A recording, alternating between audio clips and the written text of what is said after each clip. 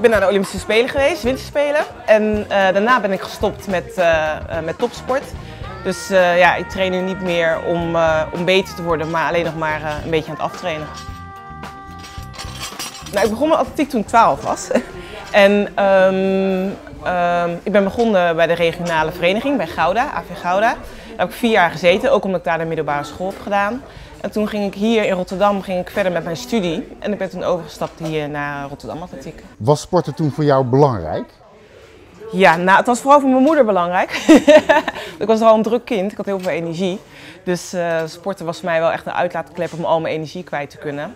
En uh, verder vond ik het gewoon heel erg leuk om heel veel te sporten en heel veel te bewegen en met andere kinderen te spelen.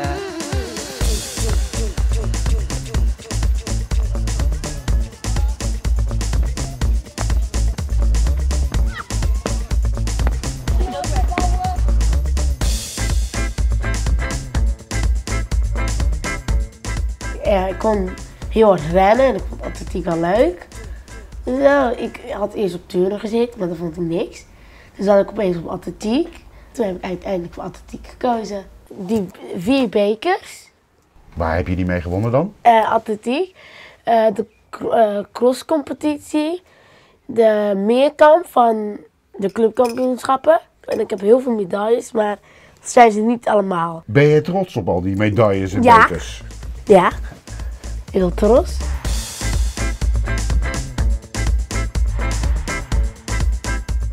We doen discus, dat doe ik nu, en speerwerpen.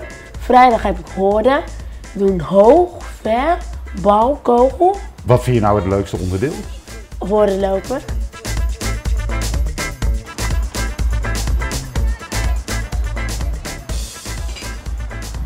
Wilt iemand wat thee? Oh, lekker meid.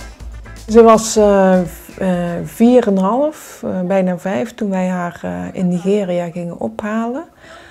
En um, nou ja, we hebben haar geadopteerd. Rut is een felle tante, maar met een hartje van goud. Dat vind ik, ja, dat maakt het ook wel weer heel mooi. Dat, ja, gewoon een heel mooi meisje, ja ja, ze heeft gewoon heel veel kracht en ook heel veel onrust. Hè. Daarom doen wij ook haar op sporten. Ze, heeft er, ze moet er energie kwijt. En, uh, ja. Hier zijn de foto's. Geef. Wat is er nou zo goed aan Judith Vis? Alles. haar motivatie, haar, haar uh, manier van doen. En haar kracht en snelheid. En haar pit. Wat is dat voor een briefje? Uh, dat is het briefje met de handtekeningen erop die ik heb gekregen vandaag. Goed je best doen, groetjes Judith Vis. Weet jij nog de allereerste keer dat er... iemand jou vertelde over Judith Vis? Ja, Erik. Toen zei, hij zei toen tegen mij van, dat wordt een nieuwe Judith Vis. En ik had echt geen idee wie dat was. Toen liet hij me een foto zien en toen zei ik, ze kijkt boos. Toen zei hij, ja maar dat moet. Want hij, ze is heel geconcentreerd. En toen dacht ik, nou, die wil ik als het nieuwe voorbeeld. En eerst had ik geen voorbeeld. poosje later op de training, toen kwam uh, Judith daar. En uh, nou ja, ze was helemaal door het dolle heen. En, uh, nou, en ze had net een werkstuk gemaakt. En ja, die heb ik toen ook naar Judith gemaild. Nou, dat was gewoon heel leuk, ja.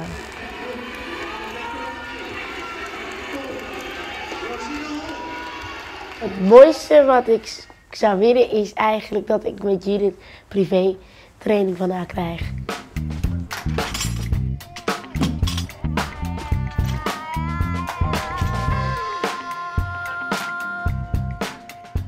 Ik moet zeggen, het is, wel, ja, het is wel een beetje wennen nu. Want het is niet meer sporten met een doel, maar het is gewoon sporten aan zich. En uh, ja, dat vind ik best wel lastig. Zeker als ik dan een beetje moe word, dan heb ik niet zo zin meer om uh, daarin door te gaan. Maar uh, ik vind het wel belangrijk om gewoon lekker te blijven bewegen en uh, om fit te blijven.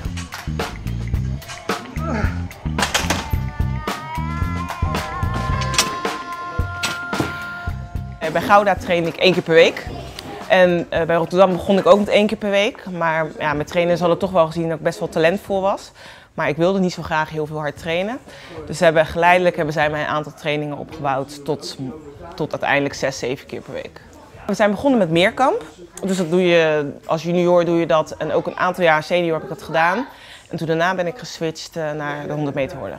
Had jij eigenlijk in die tijd toen je klein was, had jij een idool? Hoe werkte dat? Nee, ja, nee, ik was eigenlijk helemaal niet bezig met eh, idolen. Ik, had ook geen, ik was ook niet fan van een, van, een, van een zanger of wat dan ook. Ik was gewoon lekker bezig met sporten en dat vond ik gewoon heel erg leuk. Oké. Ja!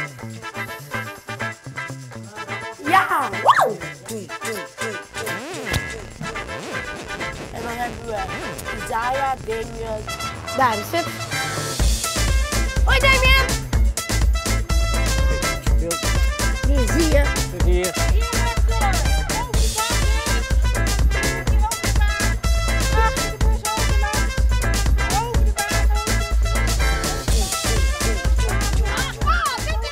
Benita is gewoon de trainer van de groep. En die, nou, die doet eigenlijk alles met ze altijd. En als ze af en toe zin hebben, komen ze bij mij terecht om af en toe een horde te lopen. En dat doen ze gewoon spelende wijs. En er is geen moeten, maar het mag. Kom maar, twee. Rutje, hup, hup. Rut, kom op. Twee, twee. Hup, en dan gaat hij weer. Juist, juist, juist, juist, juist. Ja, nou ja, in Nigeria zagen we haar al, zag ik al. Zo, bij zo'n zwembad op die warme tegels zag je haar rennen. Nou, ik denk van nou, die is geboren om te rennen. 1, 2, 1, 2. Juist. Wat voor meisje is eh, Rut? Ja, een zeer fanatiek meisje, maar ook wel af en toe een beetje explosief meisje. Maar dan in alle opzichten. Eh, Rut eh, vliegt naar links, vliegt naar rechts. Gaat met het linkerbeen over de horde, over de rechterbeen. En weet eigenlijk soms niet eens dat ze met het linkerbeen of met het rechterbeen eroverheen is. Ze wil heel graag. Ze wil heel graag. Het liefst zou ze iedere dag willen volgens mij. En eh, ja, dan moet je er gewoon mee afremmen. En, eh, maar dat weet Rut ook wel. Juist, juist, juist, juist, juist.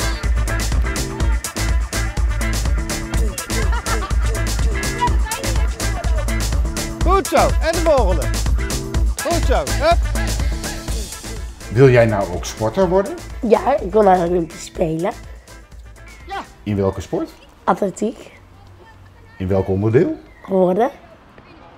Had ik als ze ouder zijn. En zij is al een paar jaar geleden al. Ja, dan moet ik toch zeggen van ja, dat is misschien, dat is nog maar ja, dan weet je niet of dat gaat lukken, hè. En dan zei ik, en ja, nee, oh, dat was een diepe teleurstelling. en toen had zij er met haar eh, trainster erover. En die zei tegen haar meid, zo'n supertalent, dat gaat lukken. Ja, dat had ze nodig om dat te horen. Heeft zij talent? Ja, ja, ik wil dat nooit zo noemen eigenlijk. Talent, eh, dat bedoel, eh, kinderen hebben allemaal hun vaardigheden. En ze zijn er te jong voor om ze te bestempelen als een talent. Ik bedoel, eh, ik zou bijna zeggen, de ijverigste kinderen komen het verste. Je wordt bij atletiek bij eigenlijk pas echt goed na je twintigste. Daar draait de atletiek om. En niet eh, wie de wereldkampioen is als 12 jaar.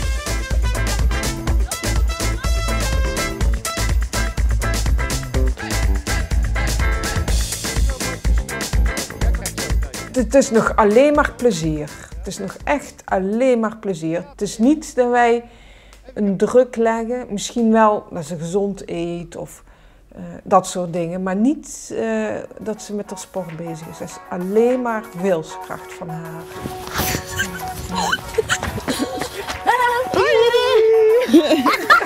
Ben je zin in? Ja. Oh, goed zo. Ik kijk. Ja. Nu ben ik. Ja, dan zijn we klaar. Voor de lopen moet je met dat tweede been, weet je nog? En alle hordenlopers doen dat. Dus probeer je zo recht, goed zo. Hoe belangrijk is het voor kinderen om met sport bezig te zijn? Ja, hartstikke belangrijk. Het is sowieso goed om met andere kinderen te leren sporten. Het is goed voor, eh, voor een fysieke gestel. Het is goed om te leren bewegen. Het is goed, eh, ja, het is eigenlijk overal goed voor. Jij bent nu wel zelf idool, hè? Hoe voelt dat? Ja, ik vind het wel heel erg leuk, want ik vind het wel leuk om anderen te stimuleren om ook gewoon lekker te gaan sporten. En als ze daar dan goed in willen worden, is dat misschien nog wel leuker. Maar ik vind het vooral leuk om mensen ja, te stimuleren om eh, le- ja, leuk en goed met sport bezig te zijn. Ga ik nu even laten zien. We moeten even kijken of het met je knie gaat. Want als het pijn doet aan je knie, dan moet je eerlijk zeggen en dan stoppen we. Heb je beloofd? Ik hoor geen ja? Ja. Oké. Ik ken Judith vanaf de 16e, 15e. En Rut is natuurlijk nu 10, denk ik. En nou, toen waren ze echt, wat dat betreft, zijn ze precies hetzelfde. Het is een, een mini-uitvoering. Eh, Judith was ook net zo eigenwijs. Die wilde ook alleen maar recht over de horde heen. Want dat is hordenlopen. En als er dan een oefening werd gegeven dat je met één been iets moest doen, dan was dat allemaal raar. En waarom zou je dat doen? Want hordenlopen gaat gewoon recht toe, rechtuit. Die power, dat is ja, wat Rut ook, ja, die heeft Judith ook echt power, de kracht. Ik vind het geweldig voor Rut dat ze een voorbeeld heeft waar, ja, die zo bij haar past. Als je nu deze oefening gaat doen, moet je proberen om je armen een beetje bij te houden. En niet als een helikopter zo. Ik noem haar mijn mini-me, want ze lijkt echt ontzettend op mij. En eh, ja, lekker bewegelijk. En eh, ja, ja. Nou, Rut is net zo donker als ik en in een blank pleeggezin opgroeit. En dat heb ik ook gehad. Dus dat is de overeenkomst. Ze is behoorlijk eigenwijs. Nou, dat was ik ook. En ehm, ze kan goed bewegen op zich. Ze moet alleen nog leren be- haar spieren leren beheersen, maar ze kan goed bewegen. Dat had ik ook. Ehm, en verder is het gewoon een heel vrolijk, uitbundig kind. En eh, ja, ook dat was ik ook, zeg maar. Ja. Heb je goed gedaan, meisje? Vond je het leuk? Wel een goede zijn, hè? En je duim eraf.